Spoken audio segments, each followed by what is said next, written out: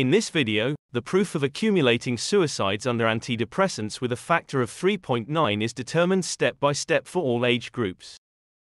For this year, only suicide victims who were still using relatively shortly before death are taken into account.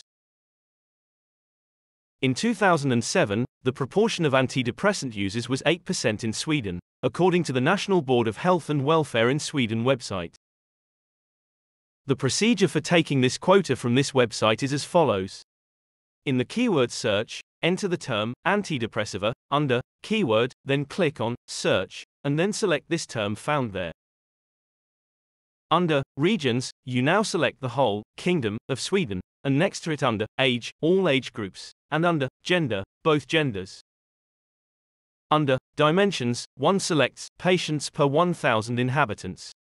Under Year, select the year 2007. To see the result, click on Visa Resultat. The quota you are looking for, 8.046%, is then displayed in this table. In 2007, there were 1126 registered suicides in Sweden, according to another website of the Swedish Health Authority mentioned. To take this number, proceed as follows. In the keyword search, one enters the key X 60 up to X 84 under keyword, then clicks on search, and then selects this found key. Under regions, you now select the whole kingdom of Sweden, and next to it under age, all age groups, and under gender, both genders. Further down, one selects the number of deceased under dimensions. Under year, select the year 2007. To see the result, Click on Visa Resultat. The number of 1126 registered suicide cases is then displayed.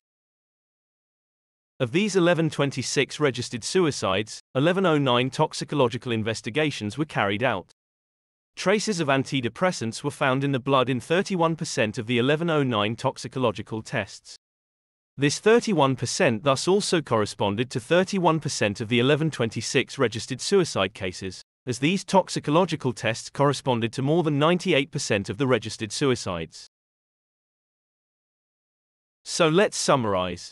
In 2007, there were 8% antidepressant users in Sweden. However, among suicide cases in Sweden in the same year, 31% were found to have traces of antidepressants in their blood. For all age groups, this results in proof of an accumulation of suicides under antidepressants, with a factor of 3.9.